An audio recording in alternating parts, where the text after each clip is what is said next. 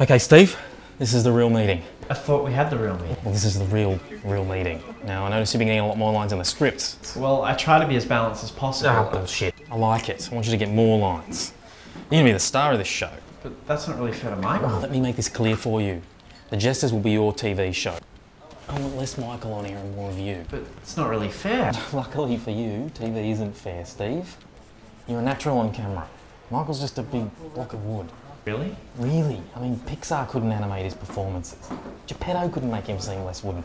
If Jim Henson shoved his hand up his ass, he still wouldn't appear lifelike.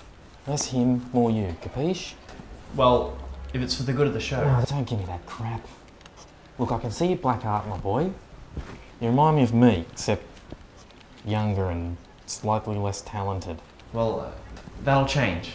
Yeah, well, you'll definitely get older.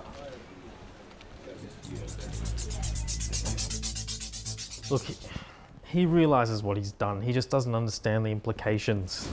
I mean, he's 11, but when you're 11, you're not a baby anymore.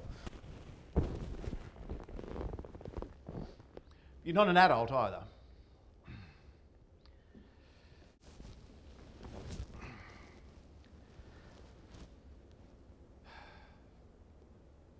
We haven't offered you anything. Uh, coffee? Tea? Is there any of that clafouti left, Ronnie? It's an extraordinary clafouti. I wouldn't mind an espresso. Espresso for me too, darling. Bring the clafouti anyway. What is it that you do? Uh, domestic hardware. Locks, doorknobs, soldering irons, all manner of household goods, saucepans. Money in that, is there? Provided I'm out there every day pushing my product, it rubs along. When you saw the hamster sitting there paralysed, why didn't you bring it home? Because I couldn't pick it up. You left it out on the pavement. I just can't touch rodents. Where's that clafouti?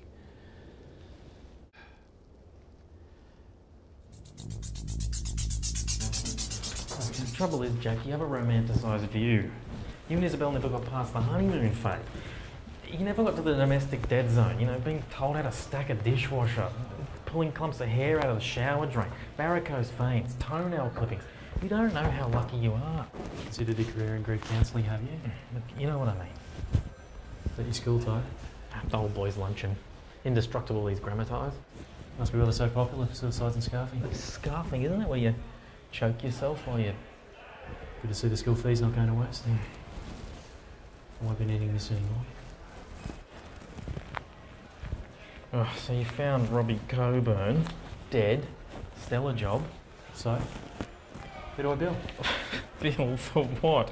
Having a few quiet ones with Barry Tregear. Contacts, that's what gets the job done. Point of order, the job's not done client wants to meet you. What, so the client who didn't want to meet with me now wants to meet. Drew, who's the client?